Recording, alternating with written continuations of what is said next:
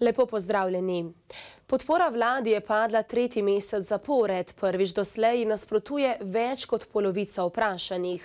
Raziskava medijane, ki jo je upravila za POP TV, kaže, da je podpora najbolj padla premijeju Robertu Golobu. SDS bi izbralo 22 odstotkov vprašanjih, največjo vladno stranko pa 13,4 odstotka. Na tretje mesto ostaja SD, ki bi jo volilo 8,4 odstotka vprašanjih, kar je največ v tem mandatu. Anketa Medijane je zaznala velik porast neopredeljenih voljivcev. Saj 25,2 odstotka vprašanih ne ve, katero stranko bi volilo, kar je največ v tem mandatu. Nobene stranke ne bi izbralo 10,2 odstotka vprašanih, 2,3 odstotka vprašanih ni želelo odgovoriti, ni cela 7 odstotka pa bi oddalo prazno glasovnico. Podpora vladi je strmo padla, ta mesec je pri 28,4 odstotka. Močno se je povečal delež tistih, ki vladi nasprotujejo, saj je ta pri 55,4 odstotka. Delež neopredeljenih se je povečal na 16,2 odstotka. Varuh človekovih pravic Peter Svetina je obravnaval več pobud v zvezi z očitki o slabi dostopnosti ambulant splošne in družinske medicine. Na to problematiko sicer opozarja že od začetka pandemije koronavirusne bolezni. Da pa se dostopnost ambulant v tem času ni izboljšala, je potrdila tudi obširna varuhova analiza med večino zdravstvenih domov v državi. Varuhova analiza je pokazala tudi, da so med ambulantami velike razlike v načinu, kako lahko pacijentke in pacijenti dostopajo do ambulant oziroma na kakšen način lahko komunicirajo z njimi. Svetina se bo danes srečal z ministrico za zdravje Valentino Prevolnik Rupel. Pogovarjala se bo sta odprtih vprašanjih z področja zdravstvenega varstva. Varuh pa bo ministrici med drugim predstavil nedavno opravljeno analizo o dostopnosti ambulant splošne in družinske medicine. Obramni minister Marjan Šarec danes začenja dvodnevni uradni obisk v Bosni in Hercegovini, kjer se bo sestal s tamkajšnjim kolegom Zukanom Helezom in z njim razpravljal o dvostranskem ter regionalnem sodelovanju na obramnem področju. Slovenija Bosna in Hercegovina vse skozi podpira na njeni evropski poti.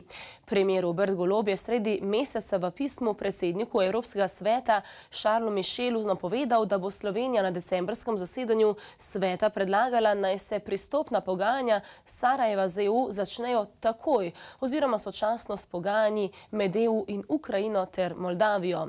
Obramni minister bo nagovoril tudi udeležence na donatorski konferenci Majevica Organizacije za varnost in sodelovanje v Evropi. O priložnosti bo med drugim povdaril podporo Slovenije BIH tako na njeni euroatlantski poti, kot tudi na drugih področjih skozi različne razvojne projekte. Poleg tega bo obiskal pripadnike slovenske vojske na misiji v Bosni in Hercegovini. Danes se začenja teden Caritas, ki bo pod geslom upanje za vse potekal vse do konca tedna. Največjo pozornost v tednu Caritas namenjajo družinam ob nenadnem izpadu dohodka, do katere lahko pride zaradi smrti, bolezni in nizkih dohodkov. Torej, ko se ljudje znajdejo v situaciji, ki je sami ne zmorejo rešiti. Na njihovo stisko odgovarjajo s hrano, plačilom položnic, pa tudi svetovanjem. Leto so predvsej družin prizadele še po poplave. Po beseda generalnega tajnika Slovenske Karitas Petra Tomažiča so več kot 4000 družinam doslej pomagali z 11,5 milijona evrov finančne pomoči o donaciji ljudi, podjetij in tudi državnih sredstev. Osrednji dogodek bo tudi letos tradicionalni, že 33. dobrodelni koncert Klic Dobrote, ki ga v celski dvorani Golovec v sodelovanju z RTV Slovenija in radijem Ognišče pripravljajo v sredo. Zbrana sredstva bodo tudi letos namenjena 22 tisočim družinam v stiski, ki jim vsako leto namenijo več kot 4 milijone evrov pomoči. Sedaj pa na tuje. Izrael in palestinsko gibanje Hamas sta izrazila pripravljenost podaljšati štiridnevno premirje na območju Gaze, ki se izteka. Hamas je v nedeljo sporočil, da bi premirje podaljšal v zameno za izpustitev dodatnih zapornikov iz izraelskih zaporov.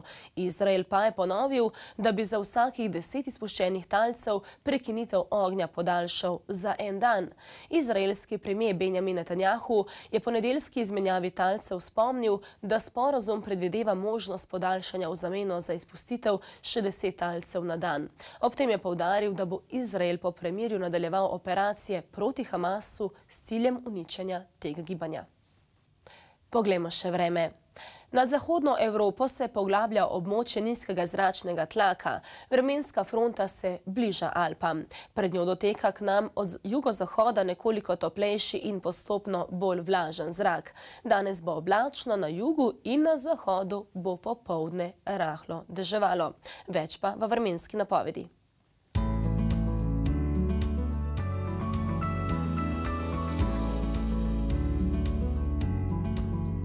Danes bo pretežno oblačno, čez dan bo ponekod zapihal jugozahodni veter. Popovdne bo na zahodu in jugu začelo rahlo deževati, do večera bo rahel dež možen tudi v osrednji Sloveniji. Najviše dnevne temperature bodo od 2 do 8, na primorskem od 8 do 12 stopinj.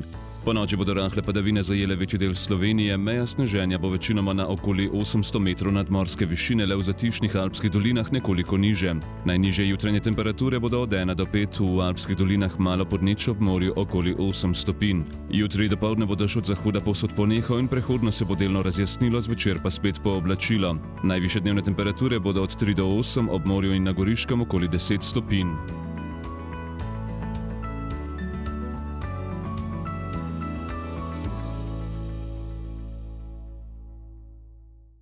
Spoštovane gledalke, spoštovani gledalci, hvala za vašo pozornost. Toliko za enkrat z moje strani. Spremljate nas še naprej, z vami bom zopet ob 14. uri. Nasvidenje.